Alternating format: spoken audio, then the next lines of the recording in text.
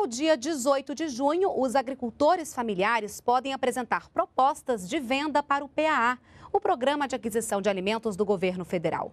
Este ano vão ser adquiridas quase 7 toneladas de alimentos. Ao vivo, o repórter Leandro Alarcon tem os detalhes. Boa noite, Leandro. Olá, Renata, boa noite. Podem participar dessa chamada agricultores familiares assentados da reforma agrária quilombolas, além de povos organizados em associações ou cooperativas. Aqui ao meu lado está a técnica da Secretaria de Segurança Alimentar e Nutricional do Ministério do Desenvolvimento, do Desenvolvimento Social, Éter dos Santos, que vai dar mais informações para a gente sobre esse assunto. Olá, boa noite. Como que funciona a compra desses alimentos pelo Programa de Aquisição de Alimentos? Boa noite. Esse, esse, essa aquisição de alimentos que nós estamos fazendo pelo MDS, pela Companhia Nacional de Abastecimento, prevê aí 16 milhões de reais para aquisição de sete produtos que estão com chamada aberta, usando então a modalidade compra institucional do Programa de Aquisição de Alimentos para aquisição então desses produtos nas superintendências da Conab. Os empreendimentos da agricultura familiar, através da modalidade compra institucional, essa modalidade agora prevê então que órgãos de governo possam adquirir com recursos próprios quando na compra de alimentos usando essa modalidade do PAA.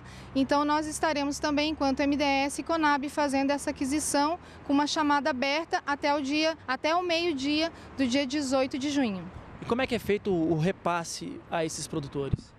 Os produtores irão procurar as superintendências da Conab, apresentar suas propostas de venda, então tem que ser agricultor familiar, procurar uma superintendência da Conab, apresentar sua proposta de venda, que pode ser parcial ou total, na sua superintendência ou em todo, atendendo também a todo o território nacional, dependendo do tipo de produto. Nós estaremos aí comprando feijão, milho, macarrão, é, farinha de mandioca, farinha de trigo e ele pode ofertar, se ele tiver, tanto para sua superintendência no seu estado, como qualquer outra do território nacional. O repasse do recurso é feito desses 16 milhões, à medida que os contratos forem encerrando, se concretizando essas compras, então o recurso é repassado para as cooperativas. E como é que é feito e, é, e por onde que o para onde que o governo destina os alimentos é, que são comprados?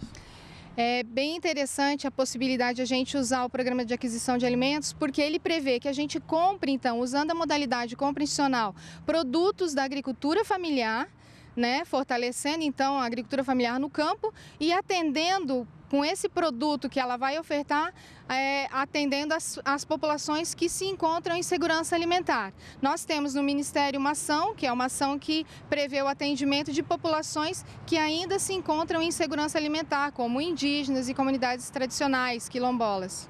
Ok, muito obrigado pela entrevista aqui na TV NBR. Voltamos ao estúdio. Renata. Obrigada, Leandro, pelas informações.